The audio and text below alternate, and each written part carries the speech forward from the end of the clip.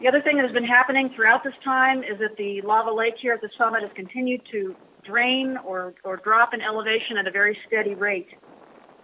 This morning, we put out another public statement noting that as the lava lake reduces in, in elevation and recedes to within the volcano, there is concern about the eventual intersection of that lava column with the level of the groundwater table below Kilauea's summit.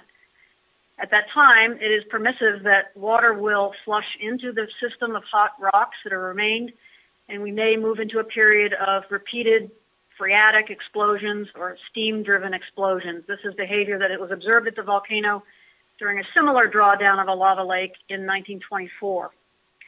So this public notice that went out this morning was to call attention to that concern and uh, say something about the uncertainties about that process and also the hazards that could be associated with that process, which uh, include far, far downwind ashfall and near field uh, ballistic blocks that uh, can be flung out during these explosions.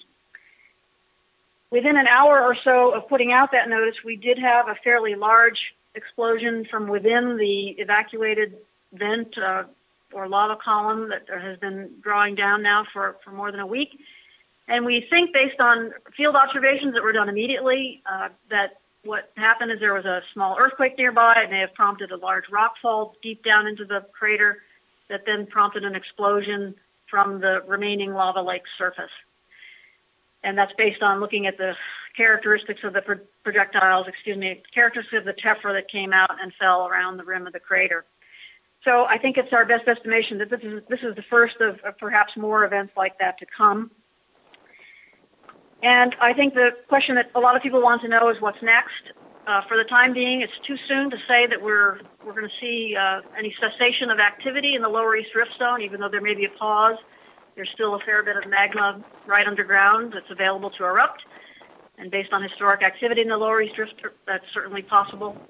And here at the summit, as I said, uh, the prognosis is if the lava column continues to recede, we may move into a period of these steam-driven explosions.